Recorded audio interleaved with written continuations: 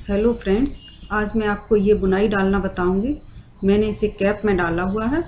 आप इसे स्वेटर में भी डाल सकती हैं। ये उल्टी सिलाई पर डाली जाती है। ये हमारा उल्टा है। सबसे पहले एक फंदा बनाया।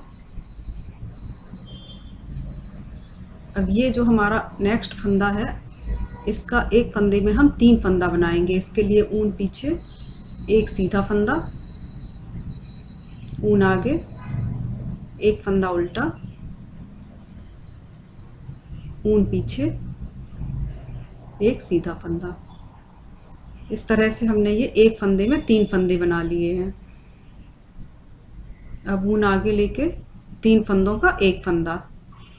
इस तरह से तीन फंदे लेकर सलाई पर और एक उल्टा फंदा बनेगा। ये एक उल्टा फंदा बन गया। फिर ऊन पीछे, फिर इस फंदे से तीन फंदे बनाएँगे, एक फंदा सीधा, ऊन आगे, एक फंदा उल्टा, ऊन पीछे, फिर सीधा फंदा। इस तरह से ये एक फंदे में तीन फंदे बन गए।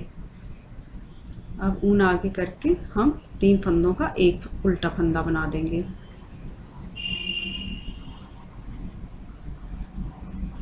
फिर इसे एक फंदे से तीन फंदे, एक सीधा फंदा, ऊन आगे, एक उल्टा और एक सीधा। जैसे ये फिर से एक फंदे के तीन फंदे हो गए।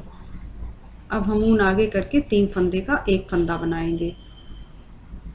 इसी तरह से पूरी सिलाई निकाल लेंगे।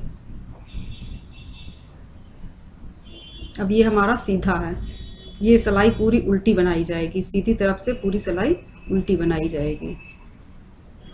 ये देखिए।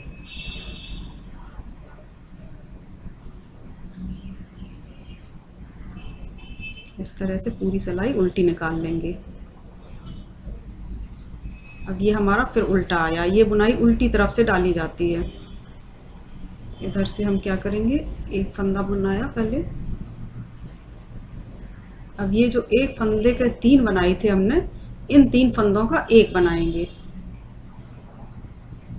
तीन फंदे सिलाई पर लेकर एक उल्टा फंदा बनाएँगे इसका, इस तरह से।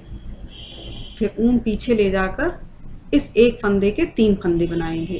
पहले एक सीधा फंदा, ऊन आगे एक उल्टा, ऊन पीछे एक सीधा। इस प्रकार से एक फंदे के तीन फंदे बन गए। अब इन तीन फंदों का एक उल्टा फंदा। पीछे इसके तीन फंदे।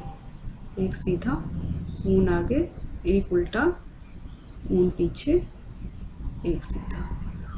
इस तरह से पूरी सिलाई बनानी है हमें। ये बुनाई बहुत ही आसान है। इसे आप बहुत आसानी से बना लेंगे। देखिए, इस बुनाई से मैंने ये कैप बनाई है। इसमें लगे हुए फूल का वीडियो मैं पहले ही अपलोड कर चुकी हूँ। Thank you.